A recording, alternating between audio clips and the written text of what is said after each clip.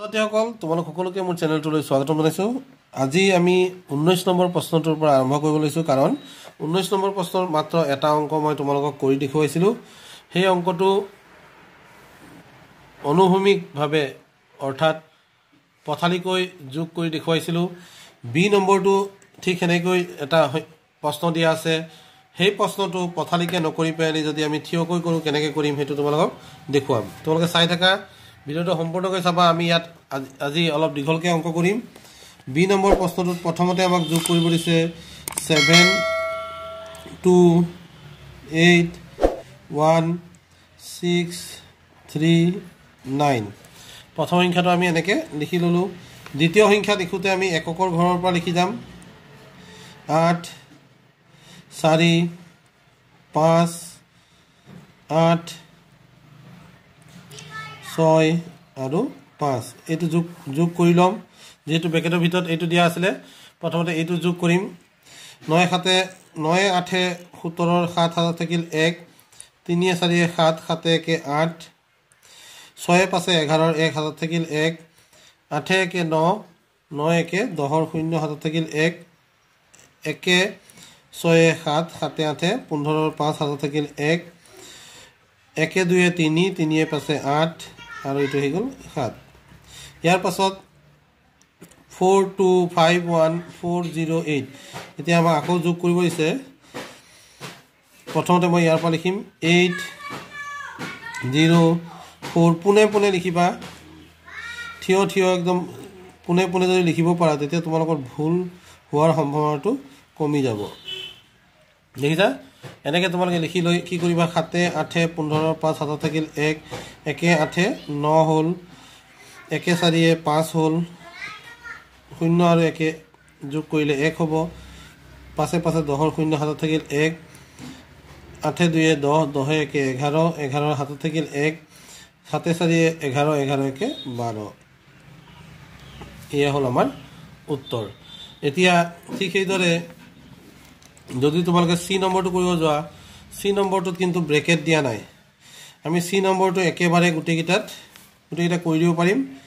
Four two five three seven nine eight পোনে পোনে লিখিব লাগিব? Seven three zero' one seven two one six তাৰপিছত আছে zero' seven five one two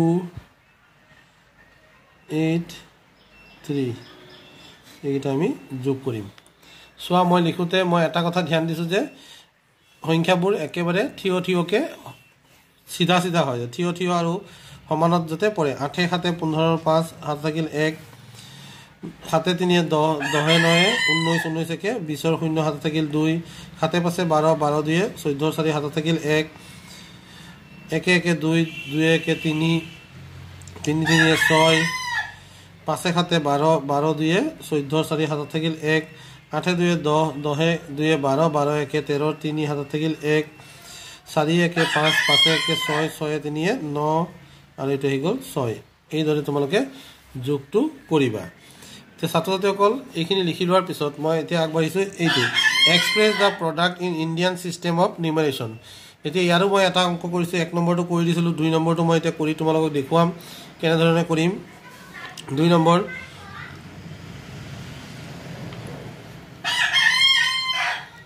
দুই নম্বৰ দিয়া আছে four zero' zero' three four zero' zero' zero' three তাৰ লগে লগে আছে two zero' two zero' three পূৰণ কৰিলোঁ তিনি তিনি গুণ ন তিনি শূন্য গুণ তিনি শূন্য গুণ তিনি শূন্য গুণ তিনি চাৰি গুণ বাৰ। এতিয়া এইটো শূন্য আছে। একক স্থানত পূৰণ হৈ গ'ল গতিকে আমি এঘৰ নোহোৱা কৰি দিলোঁ। শূন্যৰে ইয়াক পূৰণ কৰিলে আমাৰ গোটেইকেইটা শূন্যই হ'ব। তাৰপিছত আহি গ'ল শতকৰ ঘৰত দুই তিনি গুণ ছয় শূন্য আছে তিনিটা দুই চাৰি গুণ আঠ। গতিকে যোগফল কিমান পাম? ন শূন্য ছয় শূন্য দুই এক আঠ দেখিছা? এইটো হ'ব আমাৰ উত্তৰ। তাৰপিছত চোৱা পিছৰটো দিছে তিনি নম্বৰ বিছ নম্বৰৰ তিনি এইটো বিছ নম্বৰৰ দুই আছিল। এতিয়া বিছ নম্বৰৰ তিনিটোত আহিছোঁ। Three nine six two five পূৰণ ছেভেণ্টি ফাইভ এতিয়া এইটো কৰিলে আমি কি পাম চোৱা?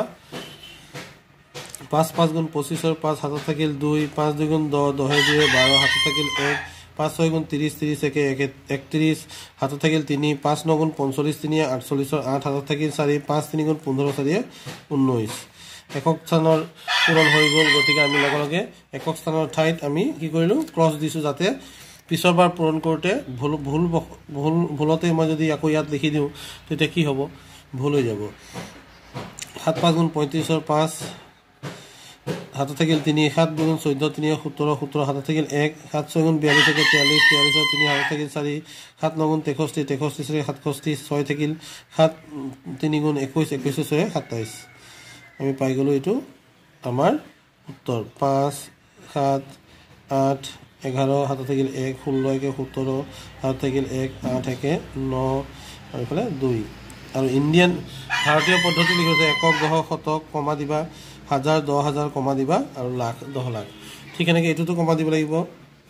একক দহ শতক শতকৰ আগত হাজাৰ দহ হাজাৰ কমা আহিল লাখ আহি গ'ল। এনেকৈ কমা দিও সংখ্যাটো লিখিব লাগিব। নেক্সট চাৰি নম্বৰটোত কি দিছে চোৱা। চাৰি নম্বৰ প্ৰশ্নটোত আমাক কি দিছে এবাৰ দেখুৱাই লওঁ তোমালোকক four four eight zero' six two পূৰণ কৰিছে থ্ৰী ফ'ৰ টু আগৰ নিচিনাকৈ আমি লিখি ল'লোঁ এইটো চাৰি নম্বৰ বিছ নম্বৰৰ চাৰি এতিয়া পূৰণটো কেনেকৈ কৰিম চোৱা তিনি দুগুণ ছয়ৰ তিনি দুগুণ ছয় ছয় বহাই দিলোঁ তিনি ছয় গুণ ওঠৰ ওঠৰ আঠ হাতত থাকিল এক তিনি শূন্য গুণ শূন্য শূন্য একে একেই হ'ব তিনি আঠ গুণ চৌবিছৰ চাৰি হাতত থাকিল, দুই, তিনি চাৰি গুণ বাৰ দুয়ে চৈধ্য। দুই চাৰি গুণ আঠ, দুই ছয় গুণ বাৰ, বাৰৰ দুই হাতত থাকিল এক, দুই শূন্য, চাৰি শূন্য গুণ শূন্য শূন্যৰ আৰু একে এক হ'ব। চাৰি, আঠ গুণ বত্ৰিছৰ দুই হাতত থাকিল তিনি, চাৰি গুণ ষোল্ল ষোল্ল তিনি ঊনৈছ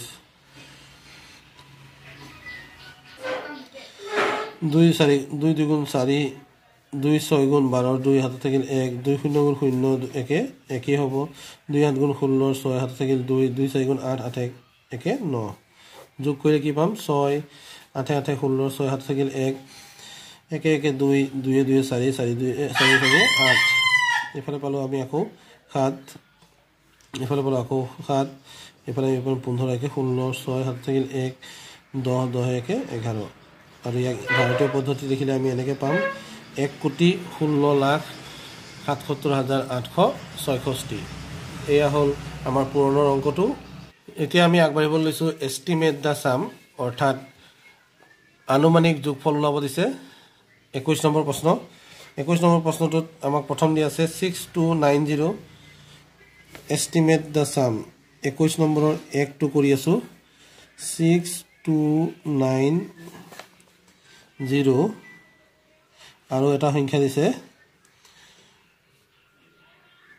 Six eight nine nine one এই দুটাৰ যোগফল ওলাইছে চোৱা। এই দুটাৰ যোগফল ওলোৱা হৈছে।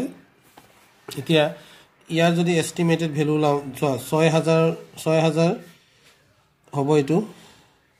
আৰু এইটো ঊনৈছ হাজাৰ আছে ঊনৈছ হাজাৰৰ লগত নশ নশ ছিয়াশী আছে গতিকে এইটো হৈ যাব বিছ হাজাৰ। যোগ কৰিলে আমি কিমান পাম? ছাব্বিছ হাজাৰকৈ পাম। এইটো কয় এষ্টিমেটেড চাম অৰ্থাৎ আমাক এনেকৈ দিছিলে six two nine zero' plus one nine nine eight six এইটোৰ যোগফল ওলাব দিছিলে।